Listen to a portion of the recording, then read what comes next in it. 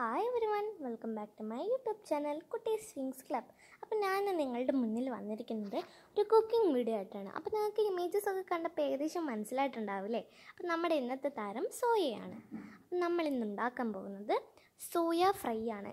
വളരെ simple and tasty ആണ്. അപ്പോൾ എന്റെ ചാനൽ ആദ്യമായിട്ട് ആരെങ്കിലും കാണുന്നുണ്ടേ സബ്സ്ക്രൈബ് ചെയ്യാം. അടുത്തുള്ള ബെൽ ബട്ടൺ ക്ലിക്ക് ചെയ്യണം. അപ്പം പറഞ്ഞ് വൈ വൈകിക്കുന്നില്ല. അപ്പം നമുക്ക് നേരെ വീഡിയോയിലിട്ട് കിടക്കാം.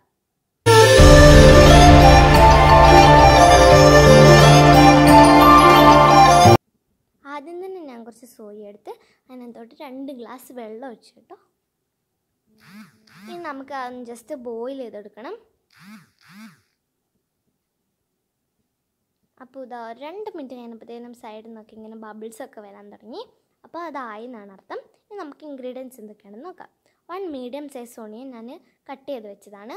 പിന്നെ ടു ഗ്രീൻ ചില്ലീസ് മൂന്ന് പീസ് ഗാർലിക് ചതച്ചത് ജിഞ്ചർ ചതച്ചത് പിന്നെ കറി ലീവ്സ് കറിവേപ്പില എന്ന് പറയും.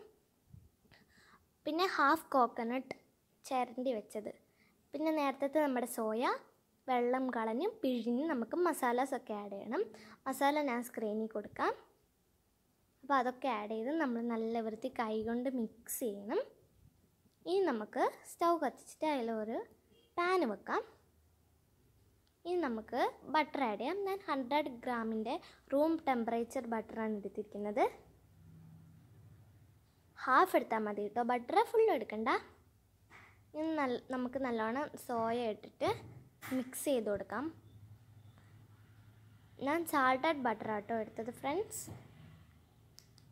ഇനി നമുക്ക് ബട്ടർ എല്ലാ സ്ഥലത്തും എത്തുന്ന രീതിയിൽ നല്ലോണം ഒന്ന് ഇളക്കി കൊടുക്കാം. ഇനി നമുക്കൊന്ന് മൂടി വെക്കാം. നമുക്ക് വേറെ ഒരു ചെറിയ ചേഞ്ച് ആക്കിയെടുത്ത് അതിനകത്തോട്ട് എണ്ണ ഒഴിച്ച് കടുക് ഇട്ട് ഉള്ളിയൊക്കെ ഇട്ട് നല്ലോണം നമുക്ക് വഴറ്റിയെടുക്കണം. ഉള്ളിയൊക്കെ നല്ലോണം നമ്മുടെ കുത്തി കഷ്ണം കഷ്ണമാകുന്ന പോലെ കുത്തി ഇളക്കി കൊടുക്കണം. നല്ലോണം വഴറ്റിയെടുക്കാം കേട്ടോ. അപ്പോൾ ഇതാ ഉള്ളിയൊക്കെ നല്ലോണം വഴറ്റി വന്നു. നമുക്ക് നേരത്തെ നമ്മൾ ചതച്ച് വെച്ച ഇഞ്ചി വെളുത്തുള്ളി പച്ചമുളക് കറിവേപ്പിലൊക്കെ ചേർത്ത് കൊടുത്ത് നല്ലോണം ഇളക്കി കൊടുക്കാം ഇനി നമുക്ക് നമ്മൾ നേരത്തെ ചിരണ്ടി വെച്ച തേങ്ങയും കൂടി മുഴുവനായിട്ട് അതിനകത്ത് ആഡ് ചെയ്ത് നല്ലോണം ഒന്ന് കേട്ടോ